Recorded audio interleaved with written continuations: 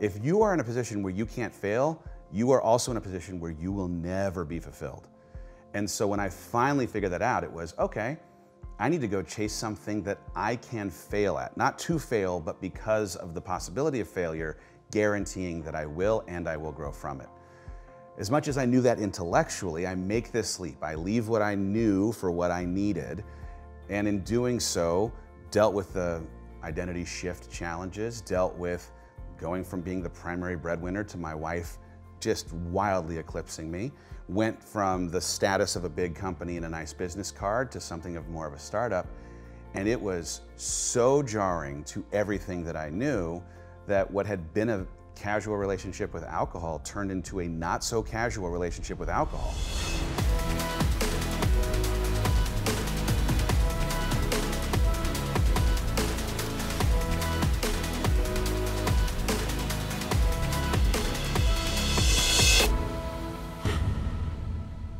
Hey everybody, welcome to Impact Theory. Today's guest is the COO of the Hollis Co., one of the fastest growing media companies on the planet. He's also the former president of theatrical distribution for Disney, who was responsible for launching some of the most dominant film franchises the world has ever seen, including the string of box office juggernauts in the Avengers series, the most recent episodes of the culture defining Star Wars franchise, and such mega hits as Frozen and Beauty and the Beast. Now, if that list of titles alone doesn't already boggle your mind, consider this. During his tenure at the House of Mouse, he orchestrated the release of what has gone on to become nine out of the 10 highest grossing films of all time. But that was just the beginning. Since leaving Disney, in partnership with his unbelievably talented wife and business partner Rachel Hollis, this dynamic duo has built a brand that went from six to 60 employees at breakneck speed and is now globally recognized for touching the lives of millions of people on the daily. And as if that wasn't already a Herculean task, he's also the on air co host with Rachel of a morning show that's viewed by over a quarter of a million people per day, the co host of a live variety show that's about to hit 800 theaters, co producer of an event series that draws thousands and thousands of people from all over the world, the co producer of a smash hit documentary called Made for More, and much, much more. So please, Help me in welcoming this ridiculously accomplished father of four and author of the incredible book, Get Out of Your Own Way A Skeptic's Guide to Growth and Fulfillment, Dave Hollis. What's up, brother? Welcome, man. Thank you. Thank you for having me. Dude, thank you for being here. You are one of my favorite humans. I am super excited to have you in that chair. I think this is going to be a lot of fun. You are one of my favorite humans. I am Thank so you. grateful for the invite, and I am excited to chat about all the things. Let's do it, man. Let's start with being a skeptic. I actually find it kind of cool and interesting that you came to personal development and and growth sort of uh, drug kicking and screaming. So, walk me through why do you call yourself a skeptic? Do you remain skeptical? What what's that journey been like? Yeah, I mean, I Interestingly, I grew up inside of a faith community that put some taboo around listening to teachers that, if not holding a Bible, could sometimes be seen as sacrilegious. And so, like from the very, very earliest formative years, there was a little bit of careful who you listen to. So that is where it started. Mm. I've, I think, tended to be a little more of a practical, pragmatic person just generally. And so skepticism runs a little bit as an undercurrent of my wiring in a way that, with a bit more of a fixed mindset, had me not really even considering that someone reaching for growth or development didn't in some way indict them for being broken or less in the first place. And so there were plenty of tools that existed that could have helped me all through my journey. And yet, because of a little bit of how I was raised in faith, a little bit of how I was raised in masculinity, a little bit of how just the world informed me thinking that self help was in some way for broken people, I was skeptical. And it, honestly, it took my wife walking into a journey for me to first be incredulous and then see some of what was working for her to have me ask a better set of questions. Mm. So, how did you navigate that going from you know this this is for broken people to thinking, hmm, this actually is kind of cool? I had to get super stuck. I wish it was uh, like a better answer than I had to get super stuck, but I found myself in this strange bridge between 30 and 40, where for the first time in my adult life, things at work were going so well that it was actually working against me. I'll come back to it, but I, in not really being as challenged as I had been previously, found myself at this threshold birthday asking why I'd been afforded certain gifts but wasn't in a position to have to fully use them. Mm. And one day I'm out back with my kids attending to a ritual of ask dad anything. I got three boys and now a daughter. And they usually were asking ridiculous things, looking for ridiculous answers. And I just committed, hey, I'll answer any question, whatever it is. And my middle son asks, What are you most afraid of? And out of my mouth, he's looking for scorpions or tarantulas, and out of my mouth falls not living up to my potential, right? Like this idea that I've been afforded gifts, but at the end of my life could look back with regret. And in an interesting way, as I was in this station of stuck, it started a want to not be stuck so when you say that you're stuck, this is the period where you're feeling like the job is too easy, that you're not really being pushed. Is that what you mean by stuck? Yeah. So I came into this last job of my 17 years at Disney, which was the head of sales for the studio. I'm putting these movies in.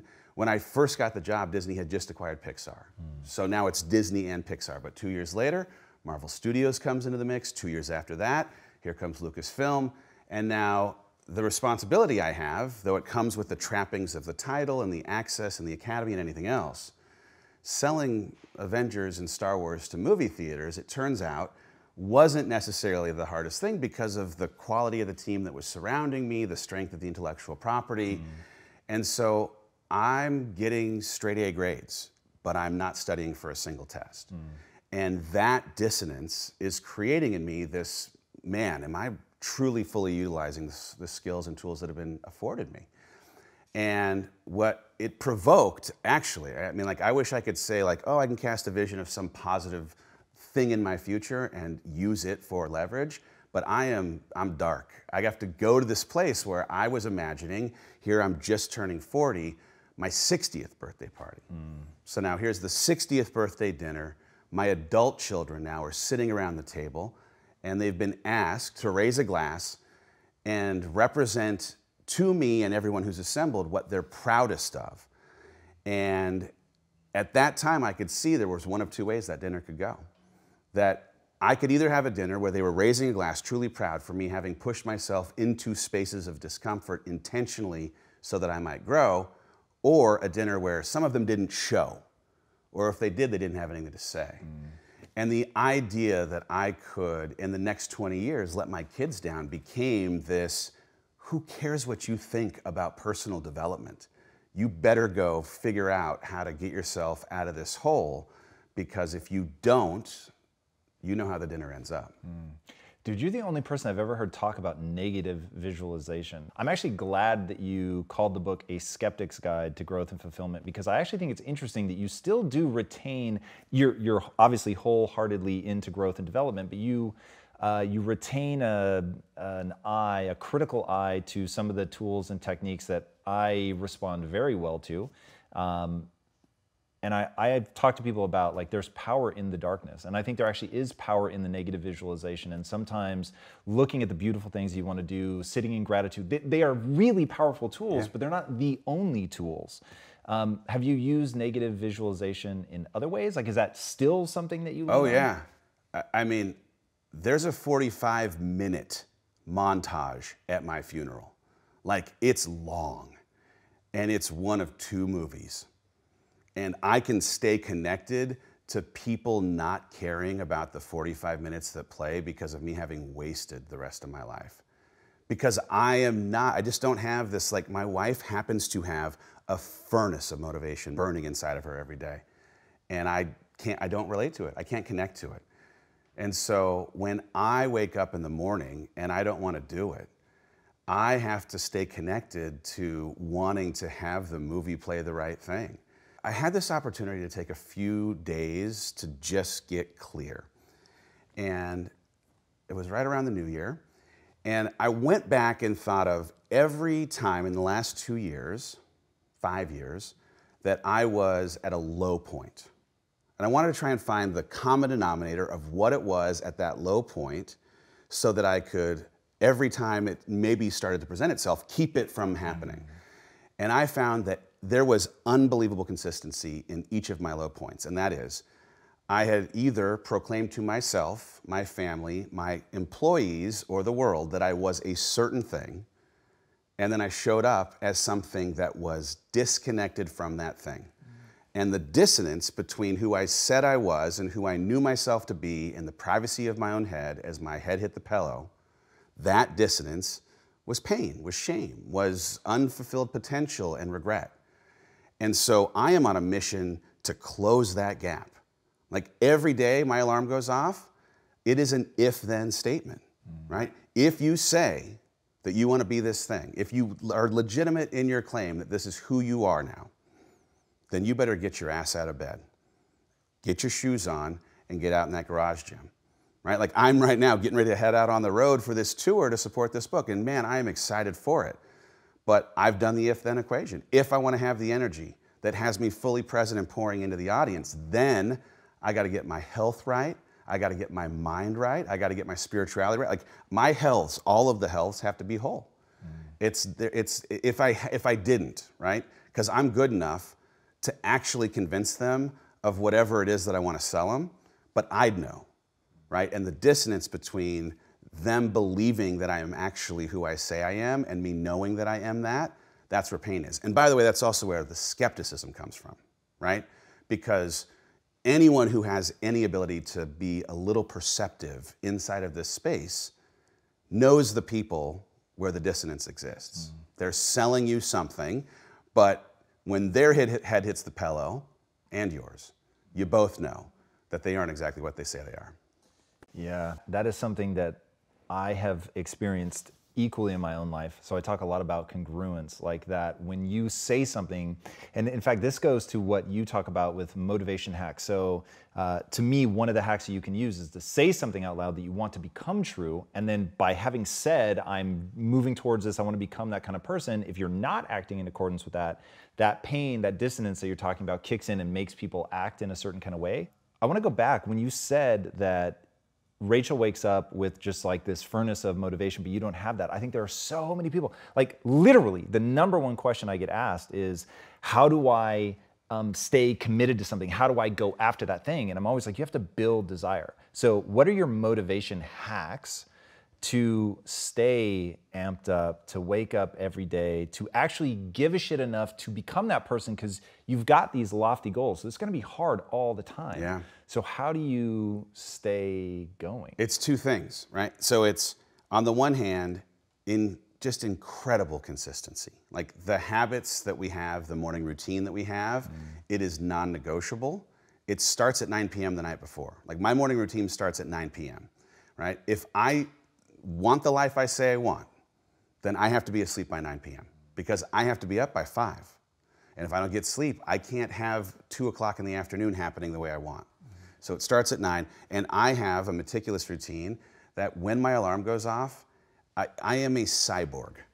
It's not, it, there's no conversation, there's no snooze. I walk immediately to the exact same place every day because that's where my shoes are and my workout stuff is. I move from there immediately to where the green juice is, immediately from there to the, where the produce is. Like I just go in a very much like methodical, beat by beat, step by step routine. But the second thing is, I am perpetually trying to find something physically that I can push myself further through to show myself that I am capable of more than I believed I was capable of. And this has become a newer hack over the last couple of years as I've truly tried to be my own catalyst mm-hmm. for the momentum I want in my life. You got to talk about 29, 29, 29. 29 or 29. It's fucking crazy. So 29 or 29, like we get done with 2019 and we're sitting around a table and the question is what was the most important singular event of the entire year? My wife and I got recommitted 15 year wedding anniversary side of a hill in Ireland. That was her answer. I wish I'd have gone second because my answer was completing this physical challenge. because in this 29029, it's an unbelievable endurance event, and it's more about mind than it is even physicality. You're ascending the 29,000 feet that would equal Everest. 13 times, as it turns out, in the place that we were at in Utah, up a hill at a very steep pitch that for hour and a half, hour 45 minute intervals of the hardest workout I've ever been through, you're pushing through 35 consecutive hours of effort.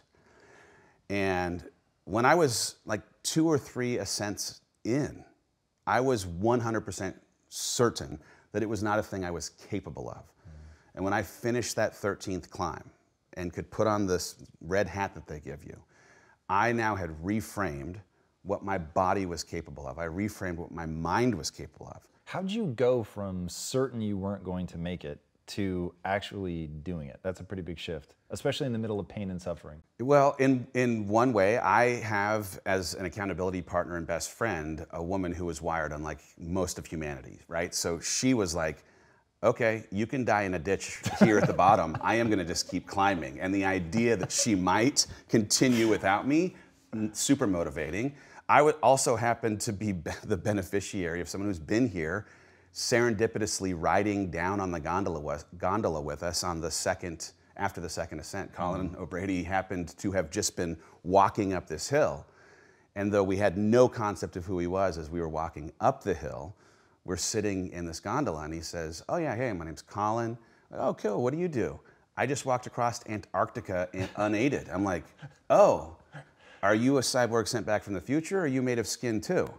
And when I realized that, like, this human truly has the same humanity as I do, mm. was capable of spending 54 days of time pulling a sled, a switch went off. And I was like, you know what? If he can do that, I can walk up this hill 11 more times. Mm-hmm. And I just decided that I was going to do it. That, that's such a cool moment, especially because knowing Colin's story, day one he breaks down crying he's like i'm never going to be able to finish this and so to go from like crying i can't do this to setting a world record and beating the guy that was essentially racing him by some ungodly number of hours days i think uh, because he just finally found his sort of mental space to occupy and then went after it it is really interesting to me when somebody can do that just full stop. But when you can do that in the middle of the pain, I find it really, really interesting. And what I love is, uh, again, using that like, yo, I don't want my wife to do this and I'm wussing out. I think that's really powerful. And I think a lot of people hide from how useful that is. Yeah. Uh, and then, you know, hearing that, hey, if somebody else can do it. Then. I'll say this too. I mean, like, this is how much of an imprint this thing had for the last six ascents, I mean, like the better part of half a day, I did one thing. In through the nose, I said the word stronger. Out through the mouth, I said the word better. Had ski poles, and that is the only thing I did. I became a robot walking up that hill. I said, stronger, as in, in this step, I am becoming a stronger human being. I then said, better, I will be better for having completed this challenge. I said it so many times, I got the words tattooed right here on my arms. Whoa. Because I needed a reminder that when I face a challenge that feels mentally more challenging than I believe is possible for me to complete, or physically beyond the limits of my capacity, that I am stronger and will become better for having endured whatever that thing is. I used it in completing my first marathon. I will use it as I am getting ready to do my first Ironman. I'm not looking for like the 100 mile race necessarily yet. We'll right? I was going to say, I mean, yeah, here's the thing. The rate but, you're but going. Yeah, right? And the headline is I came into the idea of pushing myself physically with some limiting beliefs around what was possible for someone with my frame. That I'm too tall to run was a story that had been told to me for years and years of my life. I didn't run a single mile until I was 36 years old. Whoa. One single mile. And in this last year, I've run a thousand miles. That's crazy. So literally, literally 1,000 yeah. miles on the road. And so it's just, you know, if there's something in a story that was given to you through the lens of someone else's fear, you have to test the hypothesis of your truth. And I, man, I now am in this, you know, position every single day of, well, I didn't think I could climb that mountain, so I did it, and now I believe I can go do other things. Dude, we've got to go back to the statement that you just made about you've got to test the hypothesis of your truth. That is so fucking rad. And I think that people get so stuck and they believe something and they never test it. So, how do you systematically begin to, one, identify that you have a truth, accept that it's a hypothesis, and then how do you go about testing it? Well, I've had to do a lot of work. I mean, like, it began for me, honestly, in the midst of being stuck. I sat on a couch across from a stranger in therapy as a vehicle for my more pragmatically wired brain to mm. understand why, right? I want to understand why I do the things I do.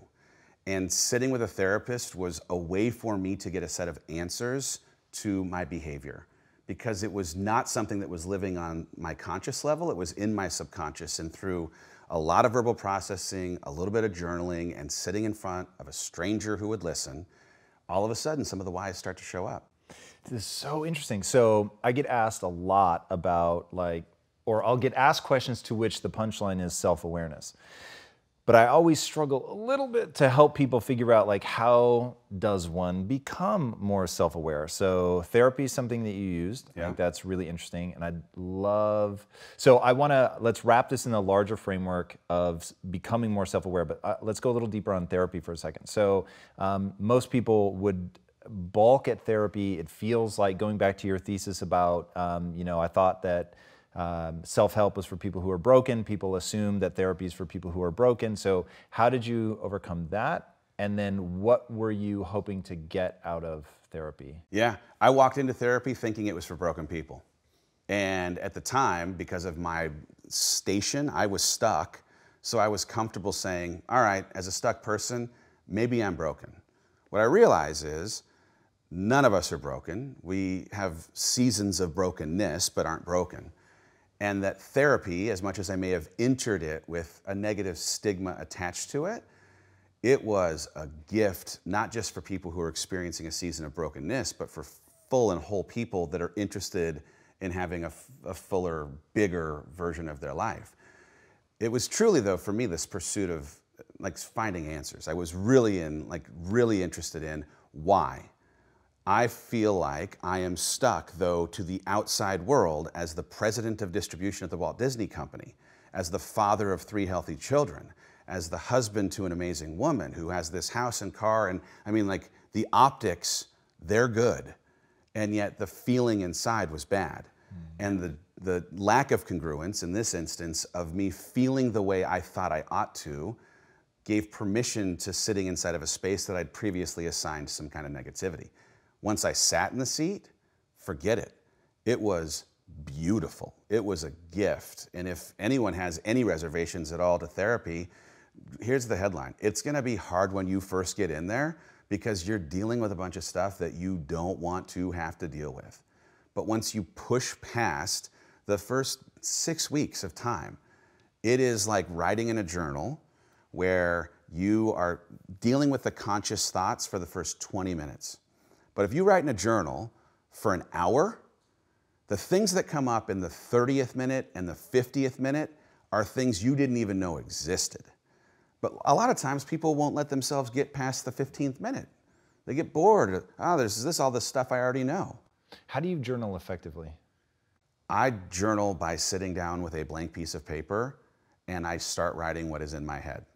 And the first 15 minutes or so is more about my day and more about my marriage and more about my kids and things that are sitting on the top layer of my consciousness. And then when I'm not expecting it, something comes up that, oh my goodness, where did that come from?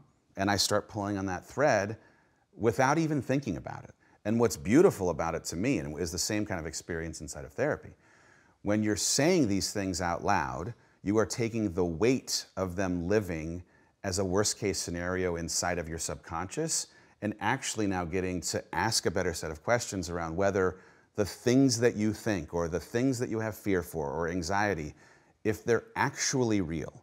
Is this actually a thing that should be weighing me down, holding me back? Is there really a chance of this being a thing?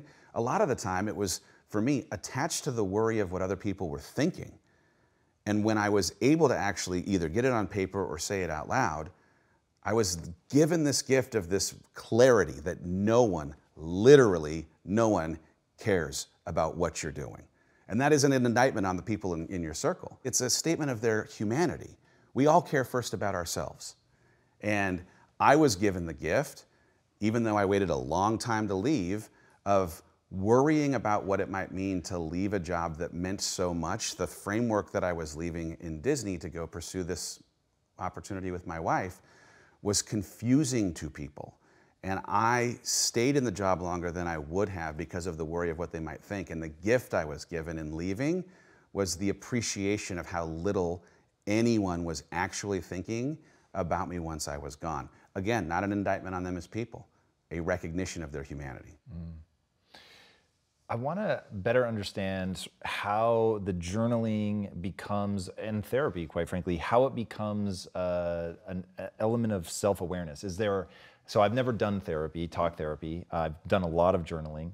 Um, when you're doing talk therapy, are they sort of pointing out like patterns that are allowing you to then recognize those patterns? Like, how does it go from I'm just articulating to, oh, I now have a, a, growing awareness of what I'm like? Yeah, I mean, for me, it was a lot more of I feel statements, I feel like, and then I was able to ask, is that feeling real or is that a byproduct of some memory? Is it a byproduct of some way I had to be when I was young? And the prompts that I would get are the same that you might get in a personal development kind of setting where you're being asked, my, my first personal development conference, same kind of question of uh, who did you have to be when you were young and you know, like whose love did you crave and who'd you have to be for that? Like those kind of questions, as you start following those threads, you realize, oh, I've been achieving all of these years for the affection of this person, and it's like imprinted on me in a way that makes me believe that the only way love will show up in my life is through me achieving for that love. And whatever version of that is for you, if you had to be a certain way as a younger person, or you've had relationships that went sideways and you, in the bad experience of that relationship, took something and had it sink in as a truth that was not actually true, it informs a little bit of what you now take on as a, a part of your self identity. And the, the, the opportunity in that therapy, the opportunity in journaling, at least for me, is to pull those things to my consciousness and actually ask if there's truth and weight to them in a way that if they live underneath just as fear, insecurity, and ridiculousness a lot of times. So it, it's very impressive when somebody frees themselves from the shackles of what other people think. I'm guessing that you still struggle with it. You now have mechanisms to protect yourself against it. Um, what do you do on a daily basis? So you've had the big epiphany, they fall into these three buckets. You know most people you just need to let it go, but it still stings like when people say something that, you know, says, hey, you're fucking up or you're broken or whatever. Um, what's your internal process when that happens? Well, it used to be grabbing a drink. I'll be honest. Like I would be triggered by someone saying something and I'd grab a drink to mute a little bit of the insecurity, it sometimes could provoke an imposter. It could, it could provoke all kinds of things, and I would grab a drink. I've tended now to run because my process of being out on the road for a length of time is giving me the benefit of time, like truly taking time before I have a reaction has been mm-hmm. singularly the most important thing. But two, there's something therapeutic about the way that my body moving in nature outside with that run allows me to actually think through is this real or is this imagined? Is this real is like the is the number one question for me to ask. And 99 times out of 100 it is not real. Like this person has a problem with me? Okay. Is their opinion something that really deserves a front row seat in my life and if there are people with cheap seat tickets that I am affording front row seat opinions, that's a me problem. Sometimes it's a, it's a run, but sometimes it's just asking that question Does this really matter? Is this fear? Is this opinion real? And if the answer ends up being no, does it, does it still sting? Does it still hurt? Yes. But if you can take a beat and actually deconstruct it, you tend to get freer faster. Uh, it is crazy the physical transformation that you've gone through. So, getting your body moving is huge to getting your mind in the right place. Have you read um, the book Spark by John Ratey? No. Oh, fuck, you'll love it, dude. So, in the book, he talks about how, yo, you have a kid that's struggling with math, make them do PE right before math and judge PE entirely by how high they get their heart rate. So, don't judge them by like whether they finish a mile in a minute or six hours. It's where was their heart rate? And so, if they're pushing their heart rate up, yeah. hitting a certain level of their VO2 max or whatever the hell um, the, the heart rate percentage was based off of, then they get a good grade because they're, you know, they're really pushing themselves. And he said, if you do that, you will see that they will perform better in that next class because getting, getting the body moving, stressing the heart in a positive way, actually makes people perform better cognitively, which I think is really, really interesting. Oh, yeah. um, talk a little bit about one, the the continual escalation of the running that you just hinted in, in, your prep for an Ironman, which is pretty extraordinary. But I also want to hear about the promise that you made to yourself about drinking. Yeah. So I, in an interesting way, knew intellectually that the thing I needed was a thing that would be uncomfortable right? I, I, How did you know that? That's so powerful. Well, most people do not know that. The number of people when I bring up cold fucking showers that like crawl into a hole, it's like mm, that's that's a pretty big thing. Well, I was given the gift of really understanding the, the connection between growth and fulfillment. And I had not previously had my finger on the pulse of that. I was the beneficiary at Disney of unbelievable job growth over time. The first 10 years, I had 10 jobs. So my professional ADD was satisfied on an annual basis. I was perpetually drinking from a fire hydrant. And what I didn't realize was my fulfillment was about always being uncomfortable. I was walking into a room of people to whom they themselves thought they were more qualified for my job. I was asking a lot of questions and learning a lot on an every single hour basis.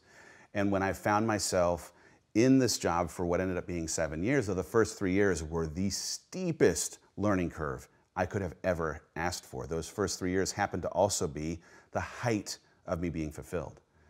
And it wasn't until I sat in therapy, it wasn't until I went to a personal development conference, it wasn't until I started reading some books that I could actually put my finger on it. Oh, you are unhappy and unfulfilled because you are not in a position where you are being challenged. And in the absence of you being challenged, it's impossible for you to be fulfilled. I, you know, I, I've, I don't want to undermine or underscore how hard the team was working at Disney, because yep, everyone was working hard.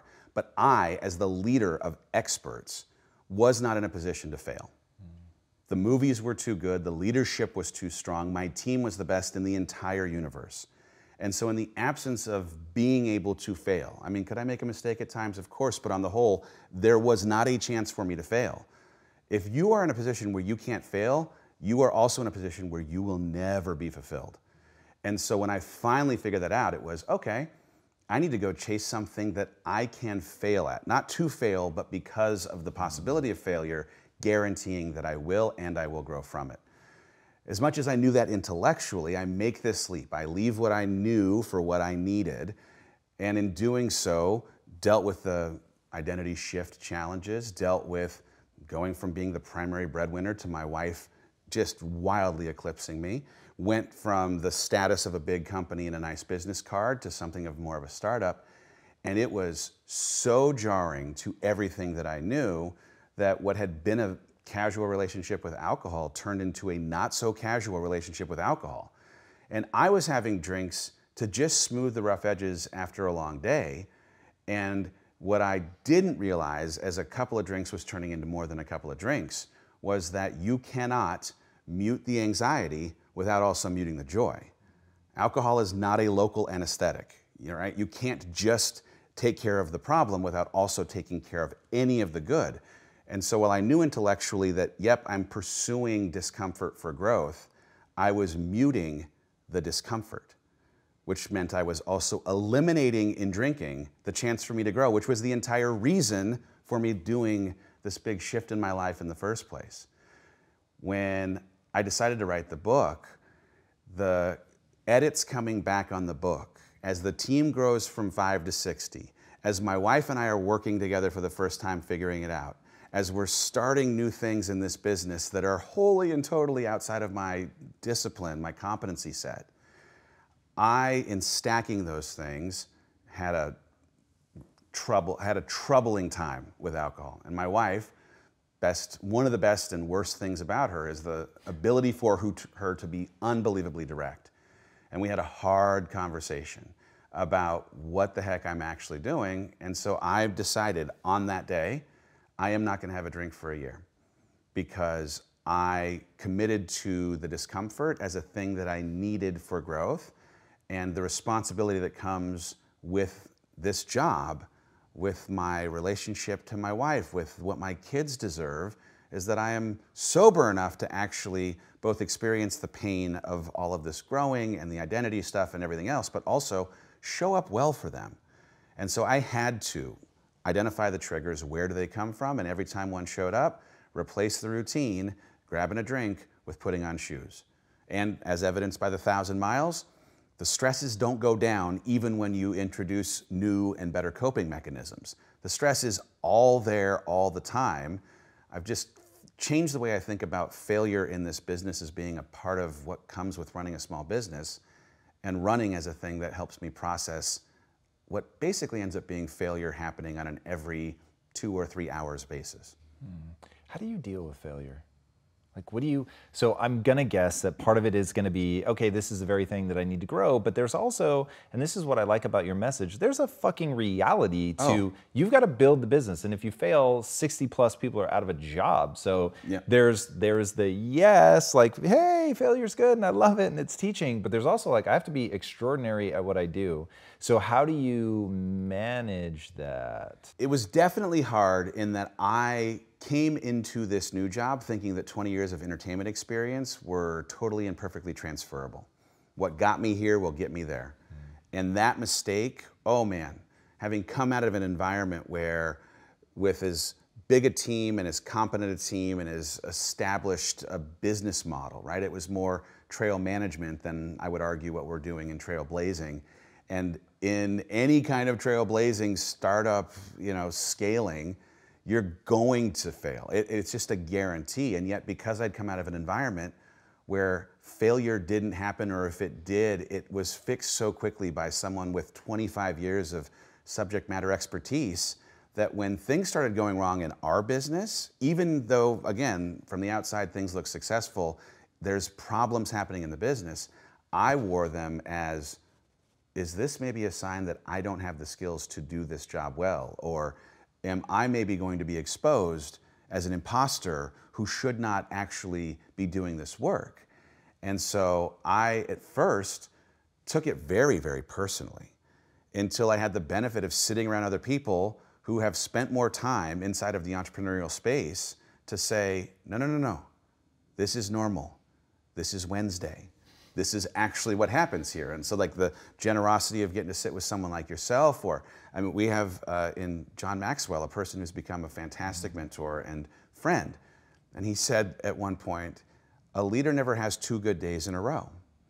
Like, that's just a fact of running a small business. And so, you can either decide, I'd like to run a small business, or you can decide to have multiple good days in a row, but you can't have both, right? And so, like, well, what a gift okay, it's not me. It's just like this is the thing that we've chosen. Now, good news, we're two years in. I can see it as a, as you might put it, data rich stream of info, right? I can see it that way now.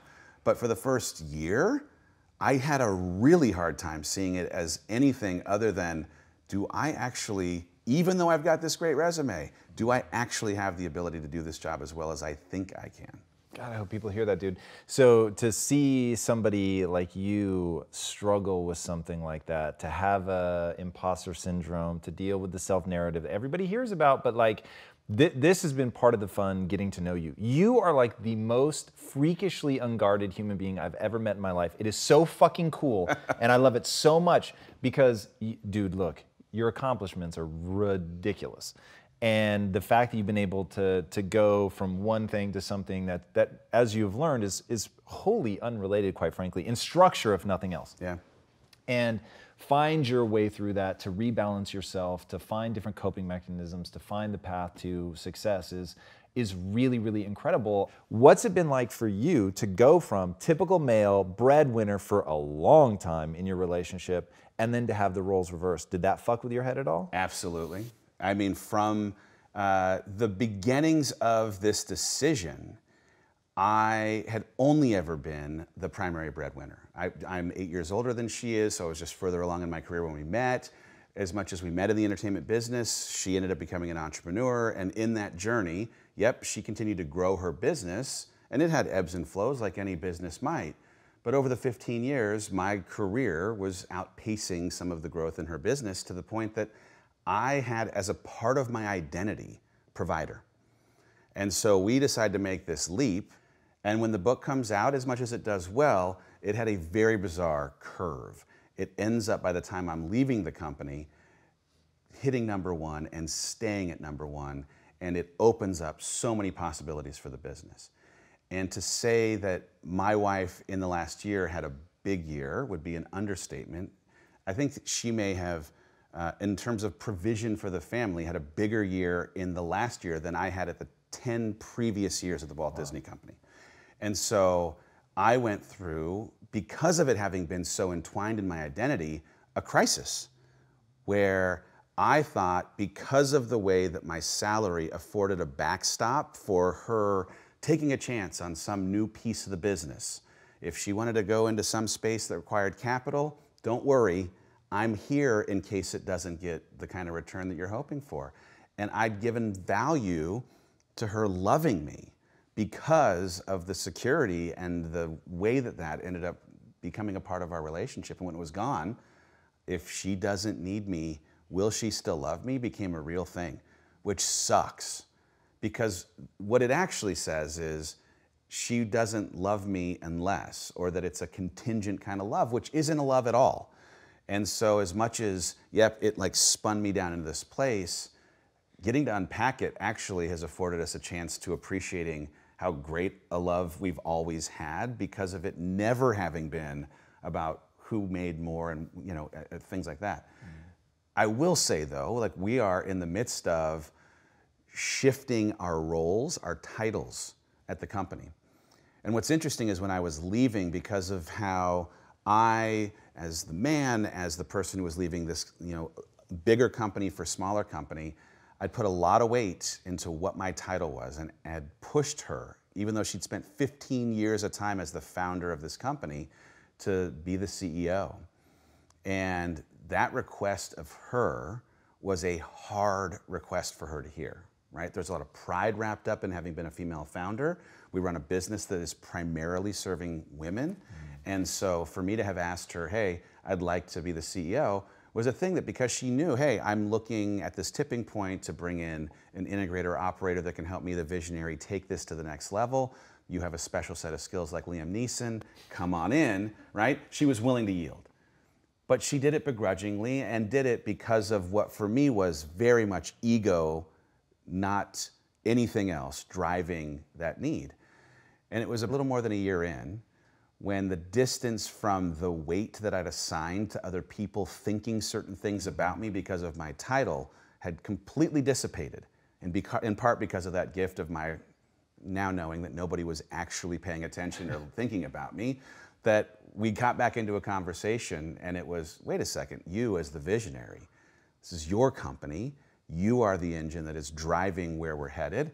I am still going to every day play the role I play as the operator integrator to help us get there, but we can't get there without the what. You are the what person. I am the how person, but the how person without the what, that doesn't make a company. And so we've now swapped roles. And so if, you know, anyone who's listening in any way has struggled with like anything in the ego space with title, especially if you're working with a partner, that shit don't matter.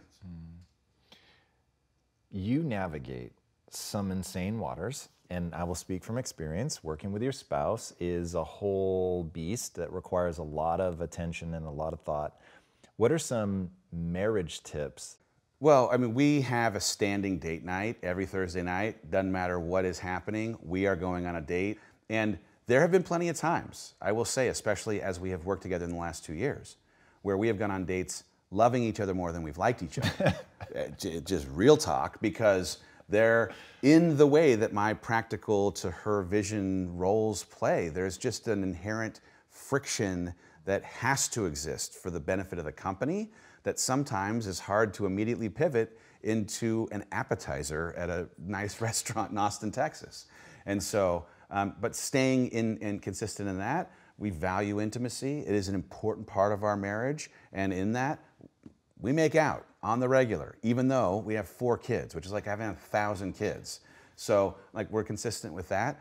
Um, we had to, when we started working together, fundamentally change the way that we have hard conversations with each other. Mm. We had been uh, in a long part of our relationship, a little more codependent, I would say, in how we avoided things that could potentially tip someone into a bad mood, be something that maybe created a little bit of emotion.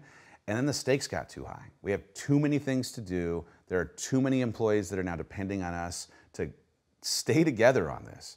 And so we had to, like Kim Scott style, employ radical. You know Kim Scott? No. So Kim Scott wrote a book called Radical Candor. I like it already. Yep. And the idea of radical candor is if you have a respect for the person that you are in relationship with, then you owe it to them. Mm. In the moment that you're watching them do something that's outside of their lane or inconsistent with their personal brand, disconnected from company values, pull them aside and respectfully give them feedback in a way that can have them appreciate how they could have done something better for the benefit of them actually doing something better.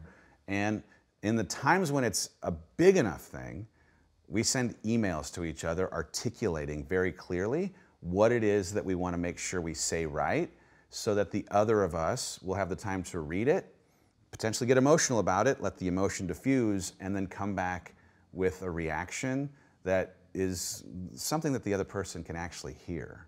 Mm. Very good tip. All right, where can people engage with you and uh, learn more? Uh, online, I'm at Mr. Dave Hollis on Instagram, Dave Hollis on Facebook. TheHollisCo.com is where every single thing Rachel and I are doing in our company can be found.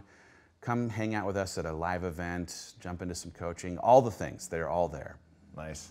Um, final question What is the impact that you want to have on the world? I want to help people appreciate this idea that they have to leave the harbor of safety and security for the opportunity to grow. Mm. I mean, I'm I'm crazy. Say, it right? reminds me of a certain tattoo. I, right, I'm cr- I'm crazy about. It. I got this tattoo. A ship is safe in harbor, but that's not what ships were built for.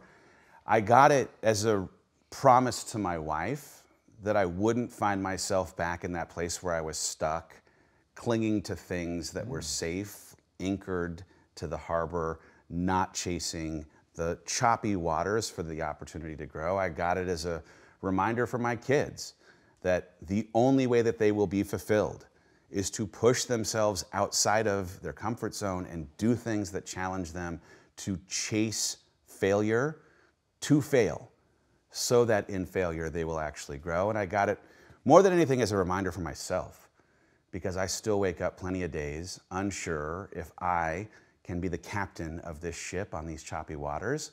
And I have to remind myself that I was built for this. I love it, man. Guys, there's a reason that I dig this dude so much. Uh, I think his book is fantastic. I think everything that he puts out into the world is this crazy blend of vulnerability and fucking hysterical humor. He is hilarious. He is insightful. Um, dive into his world if you want a chance to open up yourself, gain the self awareness that you want, learn the skills that you need to go and do the things you want to do. You will not regret it. Of this, I assure you. And speaking of things you won't regret, if you haven't already, be sure to subscribe. And until next time, my friends, be legendary. Take care. Be raw. Right on, bro. That was amazing. Thanks, dude. If you have a passion in your heart, fire in your belly, it's gonna be you. It's gonna be you getting up early. It's gonna be you staying up late. It's gonna be you running the miles and, and going to the gym and eating the kale and doing all the crap that you don't, it's only gonna be you.